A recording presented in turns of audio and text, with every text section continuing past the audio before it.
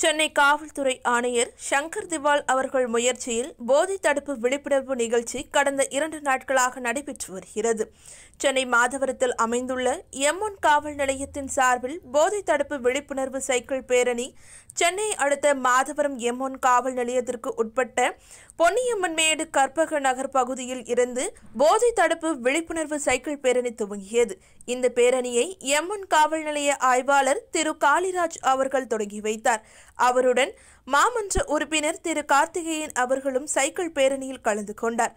இப்பேரணியில் அடிமையாகாதே அடிமையாகாதே போதைப் பொருள்களுக்கு அடிமை ஆகாதே என்ற பெயர் முழக்கத்தோடு சிறு குழந்தைகள் முதல் பெரியவர்கள் வரை சைக்கிளில் பேரணியாக சென்றனர் சைக்கிள் பேரணியில் கலந்து கொண்ட குழந்தைகளை அப்பகுதியில் உள்ள பொதுமக்கள் வெகுவாக பாராட்டினர். இப்பேரணியில் கலந்து கொண்டதை பார்த்த அப்பகுதி மக்கள் தானாக முன்வந்து தாங்களும் போதை தடுப்பு விழிப்புணர்வு பேரணியில் கலந்து கொண்டது வியப்பை ஏற்படுத்தியது.